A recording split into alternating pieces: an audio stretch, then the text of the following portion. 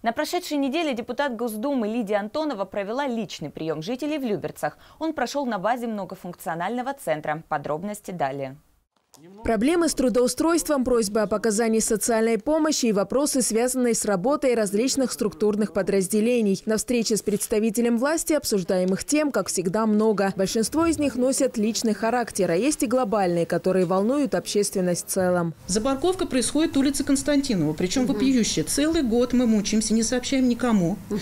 Значит, там и строители, и беспредел творится, они там у нас с ночевками остаются. И что только не происходит, и грязь, и мусор. Речь идет о строительстве центра Центра активного долголетия в Малаховке, а точнее о состоянии дороги возле него. По словам заявителя, инвестор-застройщик сузил проезжую часть до 4 метров и установил бордюрный камень высотой в 20 сантиметров. Это создает большие неудобства как пешеходам, так и водителям. Еще одна проблема, из-за которой перенесли срок открытия центра – недостаточное количество парковочных мест. Нам надо этот процесс приостановить. Пусть он все выполнит и нормально тогда открыть центр, чтобы не получилось так, что центр открыт, противовес э, как бы жителям. По словам Алексея Передерка, застройщиком центра неоднократно проводились выездные совещания. Согласно протоколу, ему необходимо предоставить комиссии по безопасности дорожного движения проект проводимых работ. Там есть, э, в принципе, два технических решения, даже при той ситуации, которая сейчас сложилась.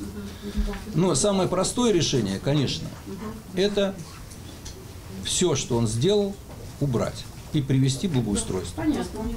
Он должен делать проезжую часть обязательно более 7 метров. Лидия Антонова, в свою очередь, отметила, что возьмет этот вопрос под личный контроль и поручила сотрудникам администрации собрать очередное совещание с застройщиком и предложить ему новый проект, согласно которому проезжая часть будет расширена до необходимых размеров. Луиза Егязарян, Дмитрий Шарапов, телеканал ЛРТ.